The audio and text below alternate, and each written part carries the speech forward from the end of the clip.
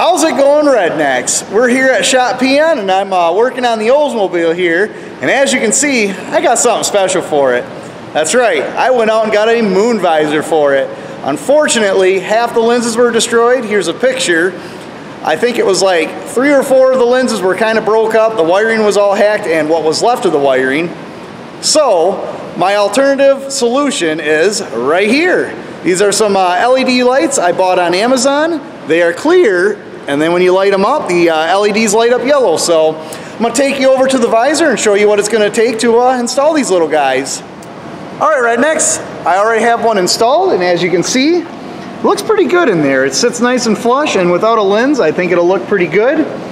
What it entails to get in is taking this hole right here, and taking a, a 5 8 drill bit, and drilling that guy out, and then on the LED, it has little nubs on the top. I don't know how well you're gonna be able to see that, but I need to grind the two nubs off of each side with my uh, Dremel tool over there.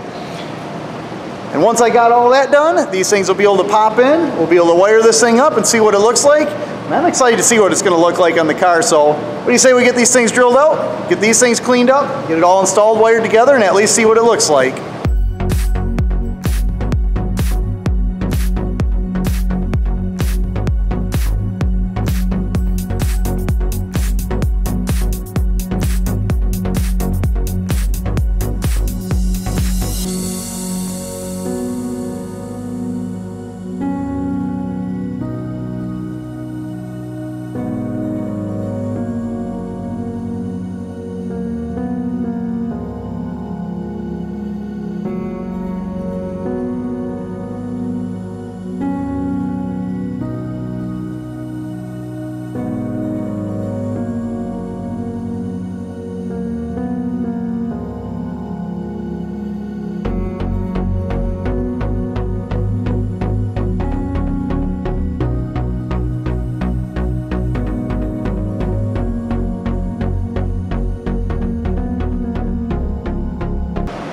Rednecks, with the uh, lights all wired in, what do you say we put it up top here, see what it looks like setting on the car, and then we wire them in and see what they look like.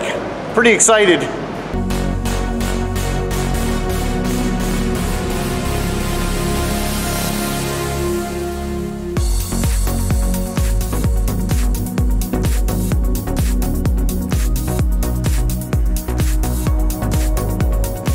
Man oh man guys, them things are freaking bright, but it looks good up there. And it's gonna look even better when I turn on my uh, headlights and we shut the lights of the shop off.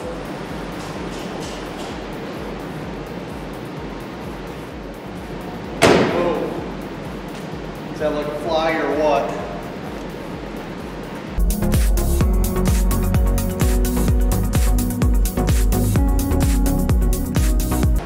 Well, what'd you think of that, Rednecks? That looked pretty good in the dark. Um, it's getting pretty late. It's uh, 10 o'clock at night right now on a uh, Friday night, so we're gonna wrap up for today, and uh, I guess I'll see you guys back here tomorrow. We'll get that thing wired up and bolted down. So, see you then. All right, Rednecks, it's the uh, next day, and uh, we got the car in here. I'm gonna get the visor put on top and try and get that thing centered and bolted in. And we have to drill a hole for the wiring. We gotta try and find our uh, headlight on or power on with the headlights or running lights inside the car, feed our wire down and splice into that. So let's get that visor up there.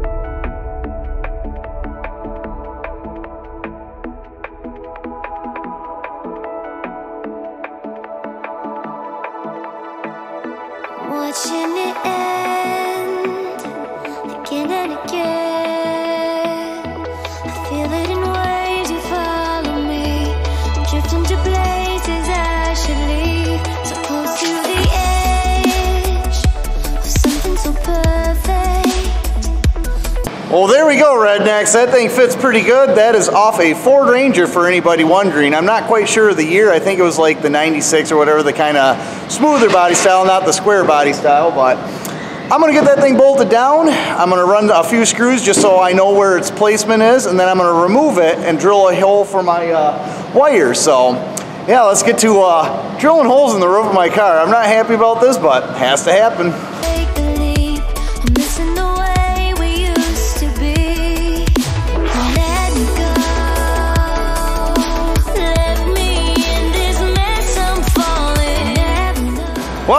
What's done is done. I now have six holes in my roof and I need to make two more. I don't know how well you're gonna be able to see, but way down inside of there, oh yeah, you can see there's quite the gap right there.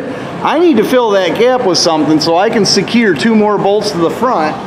But before I do that, I want to pull this thing down and get my wiring ran and make sure I can get that down through the uh, interior. I've already removed a bunch of interior panels. You can see them kind of laying inside there. Um, those all came off right here. So I got this pillar all cleared out. So I just need to find a way to drill a hole through here. Get my wires down there. And somewhere around there I'm gonna find power, I have a feeling. So yeah, let's get this thing off, get to drilling my hole, siliconing everything, and then uh, yeah, finding my power.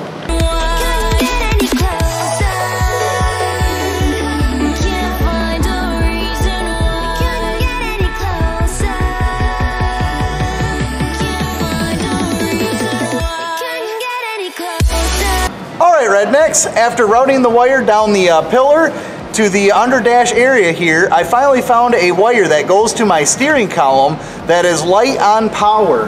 And uh, I got it uh, tapped in right now, if you see. This is the uh, plug end. And I got this uh, grounded right here to my door. And if you watch, boom, they come on with a light switch.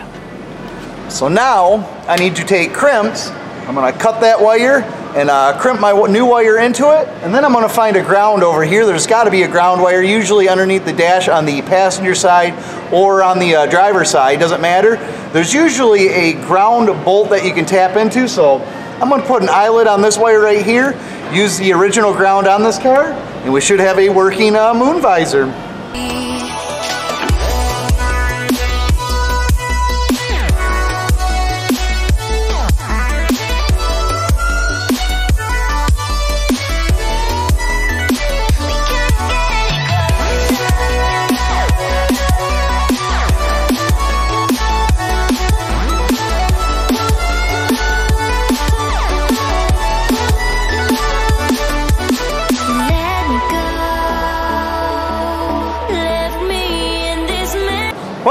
That's kind of a bummer. I was uh, putting the visor on, siliconing it all up and putting it on, and the uh, memory card, of course, filled up, so the camera shut off.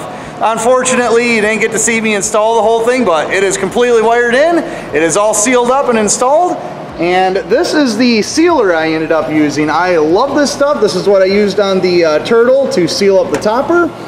And if you can see inside of there, I have a nut and a washer stacked, and that's what's filling this gap in right here that was uh, present before. So, all in all, this thing looks sick. I'll get a shot of this thing outside, and uh, yeah, hopefully you guys enjoyed the video. Comment, like, share, subscribe, and get back to work.